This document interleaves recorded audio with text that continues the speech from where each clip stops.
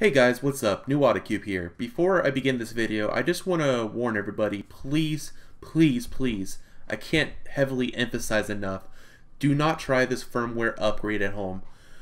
It will completely brick your Elgato HD60S as I'm going to be showing in this video um, as it happened to me. So just want to give you guys a fair warning. Uh, so yeah, hope you enjoy my video and I'll see you guys later. Hi everybody, what's up? It's Nuadacube here. So today in this video it's kind of unfortunate because I'm going to be talking about how I bricked my Elgato HD60S which I just bought like a month and a half ago. So the other day um, I was having issues when I loaded my Elgato HD60 up on my PC to record gameplay. I usually use uh, OBS and um, that's how like I record games and stuff. I don't use the Elgato software, but anyways, the audio wasn't coming through to um, through my headphones, which I have it or set up to monitor an output in the settings. So typically, the the audio from the PS5, which I'm recording from, um, goes through my headphones, and um, well, it goes through my computer, through my headphones, and uh, it wasn't doing that. So I did some troubleshooting. I did some like resetting the Elgato by uh, reinstalling the drivers, reinstalling the Game Capture HD software, and it didn't work.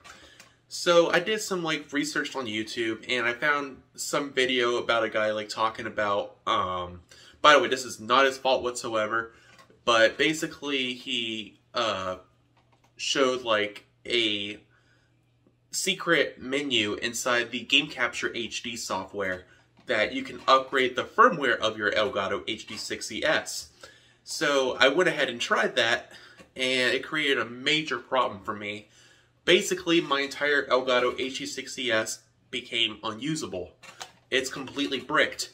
As you guys will see here, when I go to, or load it up into the Game Capture HD software, what you'll see is it'll say initializing under the Elgato HD60S, and in the mint or in like the big screen like where it shows the the gameplay, it shows one moment please, and it will stay there and it will not change for all eternity.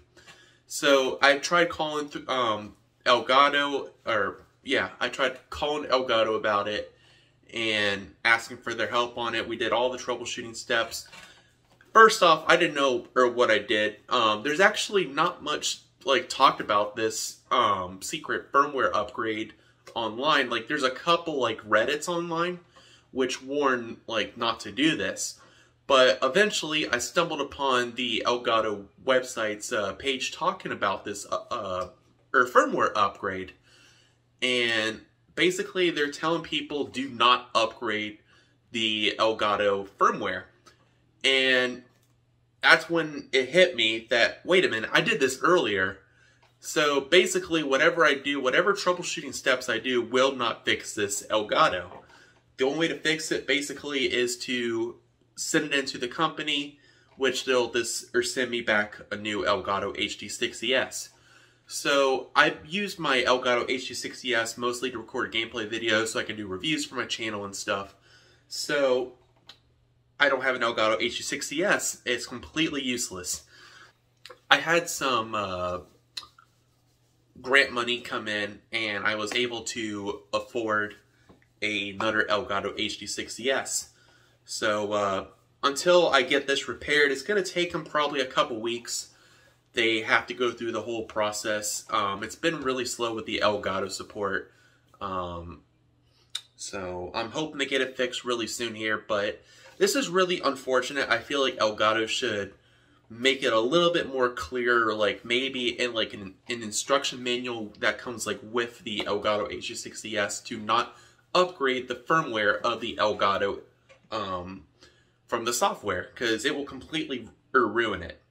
Basically, what I think what happened is, is when I did the firmware upgrade, it did like kind of like a factory like reset on the device before they installed their own like they like I guess like flash or something onto the motherboard inside of this. So I think that's what it did, and it basically made it completely unusable. So whatever you do, do not use this uh, upgrade firmware option inside the Game Capture HD software. It will completely brick your device.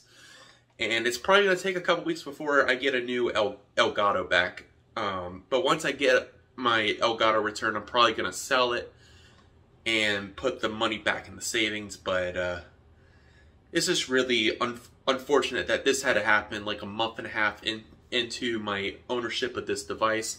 What really sucks is I bought it from Best Buy, not to bash Best Buy or anything, but they only had like a 14 day return policy and there is no like warranty you can buy for this device. Like when I went to go and buy my new Elgato HD60S, um, I asked if I can get like a, a warranty on it and they won't do it. So that's really unfortunate. So anyways, guys, I hope this video helped you guys out. Um, just want to warn you, please, please, please do not press this upgrade firmware option. Um, by the way, I meant to say you can access this by holding down control when you go into the, like when you click on the or settings gear icon. Um, and that will or load up the advanced tab. So that's how you access it if for whatever reason you're curious like how um, I did this.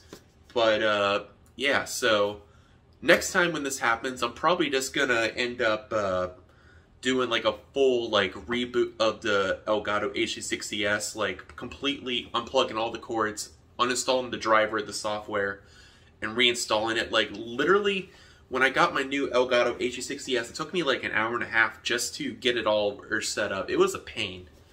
Um, but eventually I got back to where it was. I have it actually up here in my desk setup. But uh, yeah, so um, thankfully I was able to I was able to afford another Elgato for right now because if I wasn't, then I'd be going probably like three weeks without even being able to record content for you guys. So anyways, um, if you guys haven't already, feel free to check out my YouTube channel. I actually have a PS5 unboxing video that I did and I also did a review on Persona 5 Strikers. I actually have a uh, review coming out for Xenoblade Chronicles Definitive Edition, and I also have a review coming out for NieR Replicant version 1.22. I'm not going to say the whole number, but basically version 1.5. That's the or square root of it. Um, but uh, I'm currently playing through that game right now. It's amazing. Um, so I actually haven't been able to edit my Xenoblade Chronicles Definitive Edition review. It's in the works. I've been working on it. I'm really excited to get it out for you guys. Um, also, once I finish both of those, I will be doing uh, Xenoblade Chronicles 2, hopefully. Um, that's basically next on my backlog of games before we get some bigger titles like Skyward Sword HD. I'm really excited for that. So yeah, I hope to see you guys later and keep gaming.